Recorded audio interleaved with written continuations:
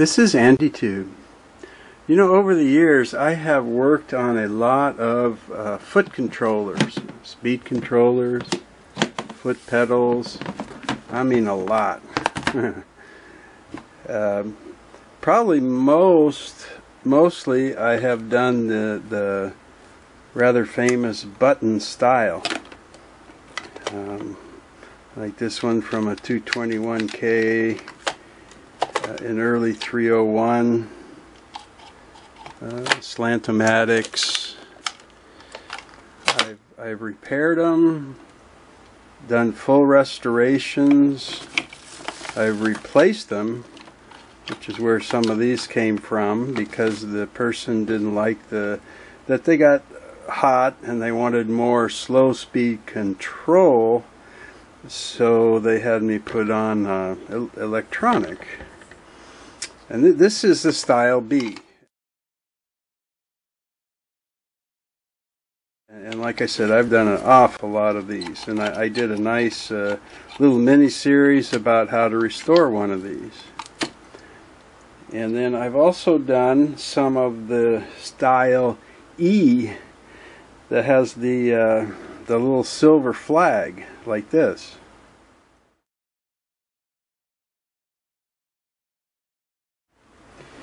and I've done quite a few style F which is more commonly called a clamshell style.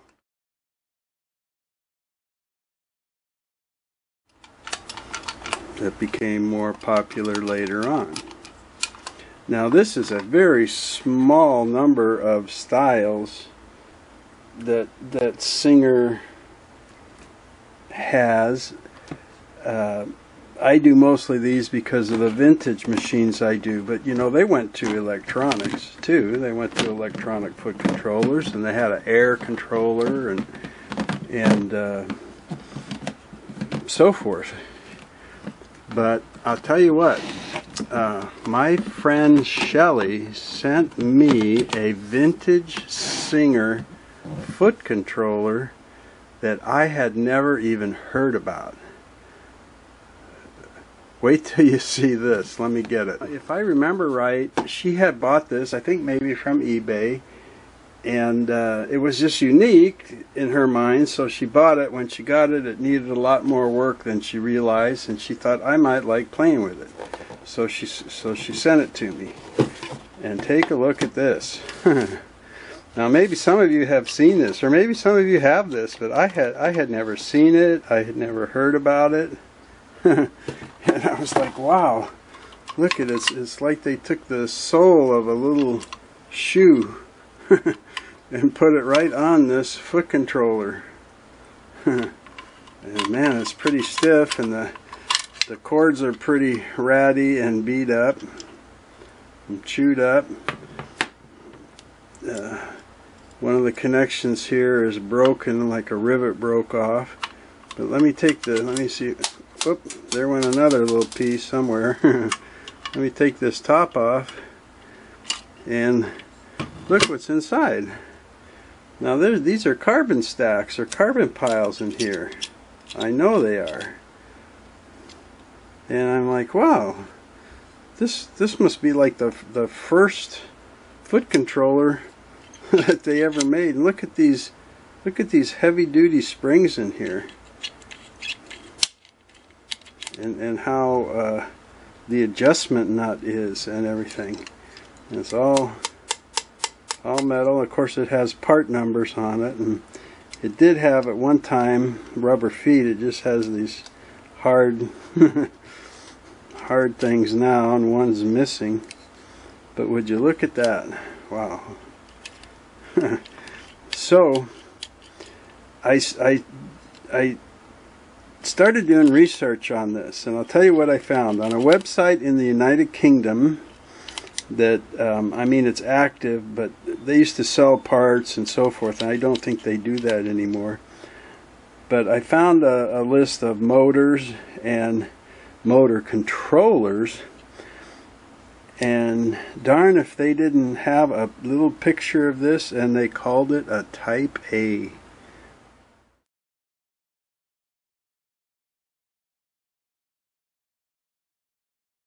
A. So A like the first in the beginning. So maybe I'm right. This this maybe is the first foot controller that Singer ever made.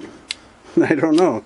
And they and they said it was for the model it was made for the model 201 and uh, here's the type of plug it has and, and it's uh, got little brass knurled knobs in there you twist around the wires. It's a shame that the cord is is so old now and and beat up and not usable.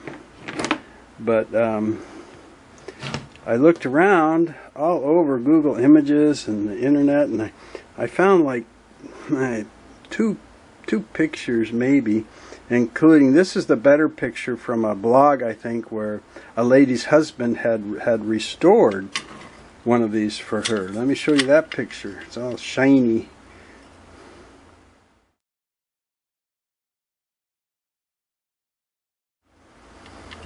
So, just not much about it. Now, I do know the 201 had a few versions. You know, most people, the 201, 201-2 or 201K.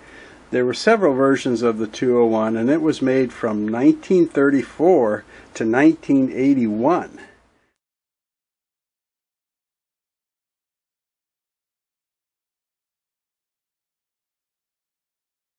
And I got the feeling that this was something maybe from the 30s or 40s.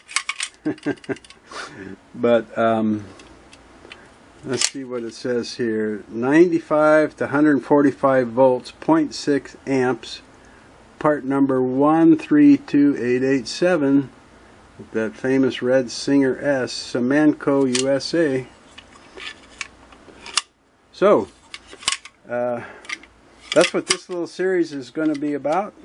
I'm going to take this apart and see how it works and I'll probably have to replace the cord. I don't know if I'll wire it for a 201 or for a, or not. I guess I'd like to since that's what it was for. But um, uh, paint it. I don't know if I want to paint this pedal. Look at that. That worn is just kind of cool looking, but the rest of it's pretty beat up too it was all shiny like the inside before so I, I guess maybe I'll paint it like that other guy but anyway that's what I'll be doing in this little series of the Singer Type A foot controller with many thanks to Shelly for her generosity. I hope you can watch some of the videos. Take care.